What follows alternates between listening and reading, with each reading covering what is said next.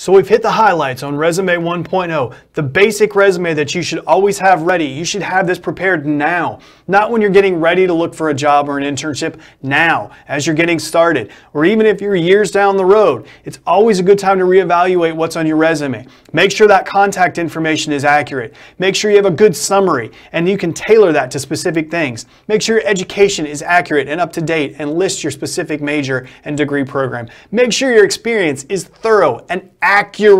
That's the word I want you to know. It has to be accurate. If we find mistakes on a resume, whether they be of content or technical things like spelling and grammar, that alone can be enough to exclude you.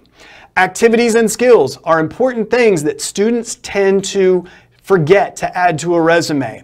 What about leadership? Are you involved in clubs or organizations? Make sure, if you are, that you try to find ways to be a leader. That can be something simple. You don't have to be the president or the vice president. It can simply be a, a, committee chair, or you could put forward a program that you actually manage and coordinate. That's leadership. It's one of the top things that employers are looking for. So, leadership is good. Clubs, any organizations that you're a member of as part of your time as a student. These things will really convey to an employer that you are involved and active. What about volunteer experience?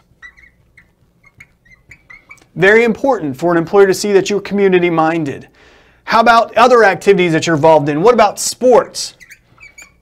I'm amazed sometimes students that have not even just on the collegiate level, they're participating in intramural sports go ahead and include that on the resume. It goes to your activity level, but it also shows, especially with a good academic record, the ability to multitask and maintain those things. What else can you include? Well, how about your computer skills? People tend to list very simple things like Microsoft Office, which I encourage you to do because almost every job description I look at lists Microsoft Office. And remember what we talked about. If it's on the job description, you can get it on the resume. That's helpful.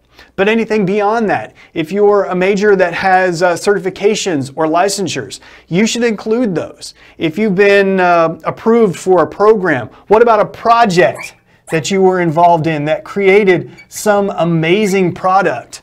By all means, include that on your resume. The point I'm trying to convey here is don't limit yourself to very simple, easy things like a club that you're a member of. Think beyond that so you can include all kinds of different activities. A caution. Don't go crazy with the activities and skills section. That's not going to get you a job. Experience and education are going to get you a job. But this can do two things. One, it can convey to an employer your level of activity, which can show them, especially in leadership side, that you're involved.